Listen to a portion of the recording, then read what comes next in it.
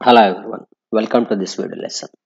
In this video lesson, we are solving a problem basing on a topic reflection of the light on a curved surface or a mirror and this is from ray optics. Let us identify the problem first. The position of an object U from the mirror and the position of the image V is given to us from a spherical mirror. If an object is moving towards the mirror with a velocity VO, what is the velocity of its image is? That's what our question is. So let us consider a mirror first. This is a mirror. You can consider a convex or a concave mirror. It doesn't make any difference. Any spherical mirror is fine. Then this is the principal axis. Let us assume this is the object here. This is the corresponding image. So it is obvious that this is called object distance u. This is called image distance v.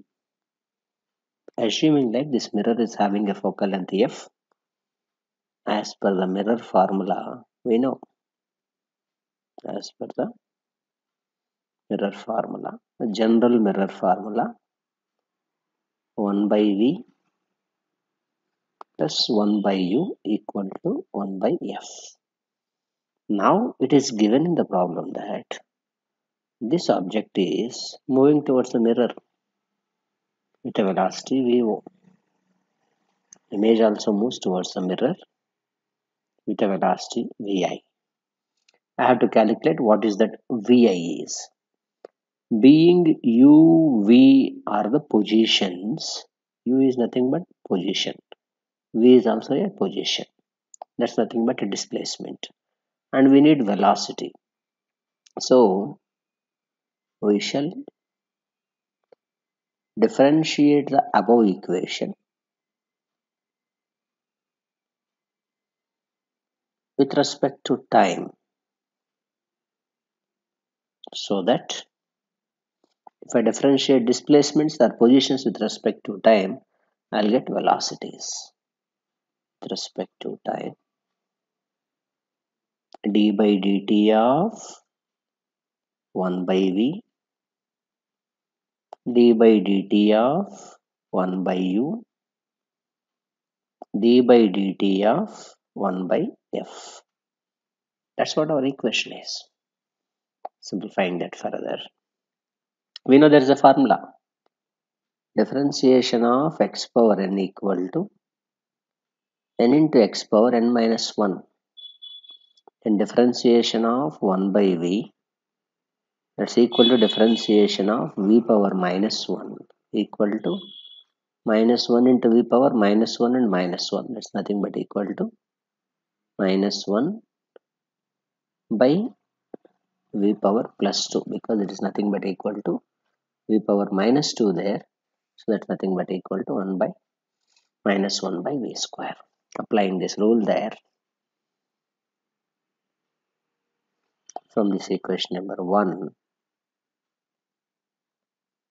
differentiation of 1 by v is minus 1 by v square. As per the chain rule of differentiation I have to write dv by dt because this v also varies with respect to that of a time. So I have to write dv by dt. Similarly differentiation of 1 by u is minus 1 by u square. And as per the chain rule du by dt d by dt of f equal to 0 because focal length of a mirror doesn't vary with respect to that of a time. That implies minus 1 by v square.